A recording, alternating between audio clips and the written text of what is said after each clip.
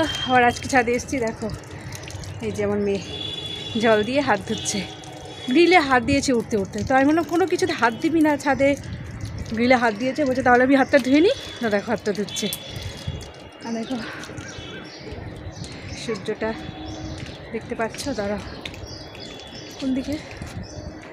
দেখা যাচ্ছে না? এই যে সূর্যটা অস্ত যাবে একটু পরেই পাঁচটা বাজে দূরে। পাঁচটা এখনও বাজেনি। দেখো, দূরে একটা ঘড়ি দেখা যাচ্ছে সাউথ সিটিতে পাঁচটা বাজতে দশ মিনিট বাকি।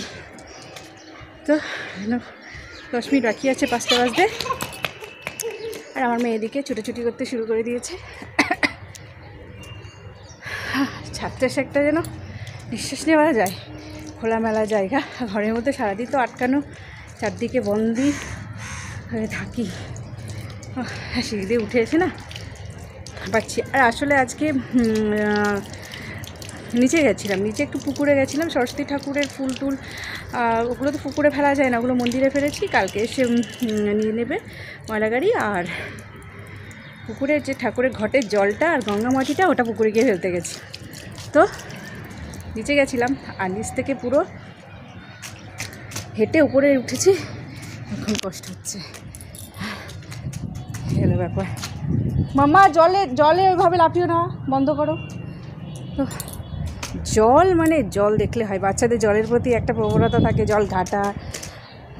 তারপরে আমার মেয়েরও তাই। যতই বারণ করি না কেন, শোনে না। তো দেখো, এটা ওর না এটা আমার মেয়ের শাড়ি ছিল। তো এটা আমার মেয়ের শাড়ি ছিল, শাড়িটাকে ছোট হয়ে গেছে। তো সরস্বতী পুজোয় পরাতে হবে এই শাড়িটা। তো ওর দাদু, ওকে আমার শ্বশুরমশাই, বাবা ওকে এটা কিনে দিয়েছিল। তো এখন তো আর ছোটো হয়ে গেছে, পরতে পারে না। তো আবার একটা শাড়ি কিনতে হবে। তো এই জন্য এটা আমি এখন অন্যার কাজে ব্যবহার করছি। বেশ। একটা কাক উড়ে এসছে।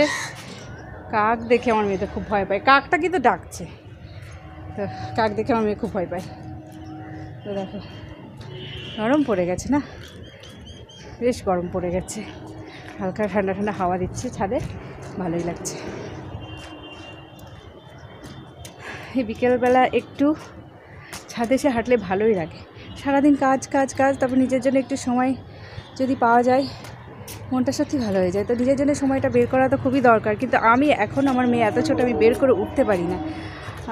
তো চেষ্টা করি যে রোজ তাড়াতাড়ি কাজ করে একটু নিজের মতো একটু ছাদে হাঁটলাম বা নিজের মতো একটু থাকলাম, কিন্তু সময় পাই না। ওই কাজ, একটা কাজ শেষ আর একটা কাজ শুরু হয়ে যায়। এরকম সারাদিন আমার চলে।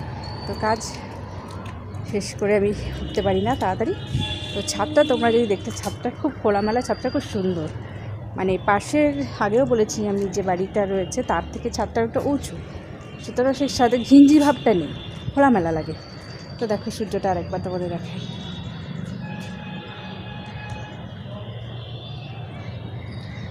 দেখা যাচ্ছে। তো এই যে সূর্যটা হ্যাঁ আমার মেয়ে দেখো সমানে জল কেটে যাচ্ছে। সমানে জল ঘুরছে।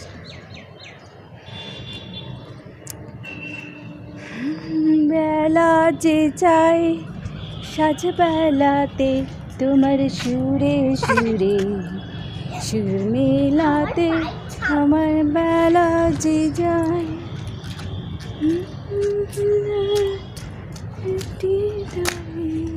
ছিটায় না, জল ছিটায় না, এভাবে দেখো, জল ছিটিয়ে আমার গায়ে চলে আসছে ওই কাদা জলটা। হ্যাঁ ছাদে একটু ঘোরাঘুরি করব, তারপর নিচে চলে যাব।